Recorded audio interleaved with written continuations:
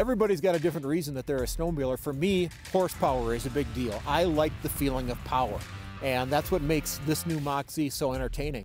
180 horse turbo, yeah, it's pretty fun. It definitely will put a smile on your face. When this thing hits, when this power comes on and it launches, it is strong. With its different drive modes, you know, you, you don't have to always be in that go fast, hard hitting mode. You can bring, bring it down into the eco when you're weaving through the trails. There's two things I'd want to say about it. One is the power. It's incredible. Uh, this turbo power just lifts up and goes.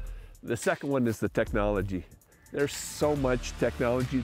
They introduced Smart Shox technology this year. You can feel it in the field. You, you, there's a little toggle switch here. You switch back and forth between Comfort, Sport, and Sport Plus, and each one has their own personality.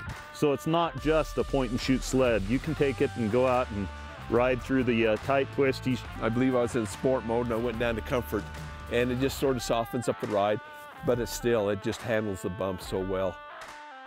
The new Mach Z can certainly be trail ridden. I mean, it, it you could put 2,000 miles a year on this thing without any problem. It's, uh, but it really has the feel of, of a go fast race sled.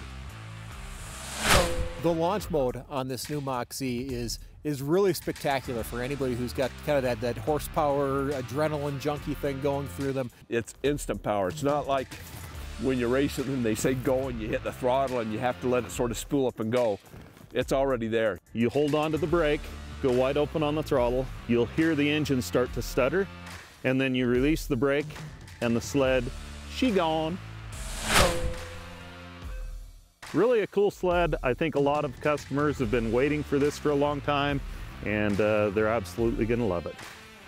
This is a complete machine that can do whatever you want it to do, but ultimately it's aimed at the Go Fast guy and it's only going to be available for one year. So if you've been waiting for one of these, time to wait is over.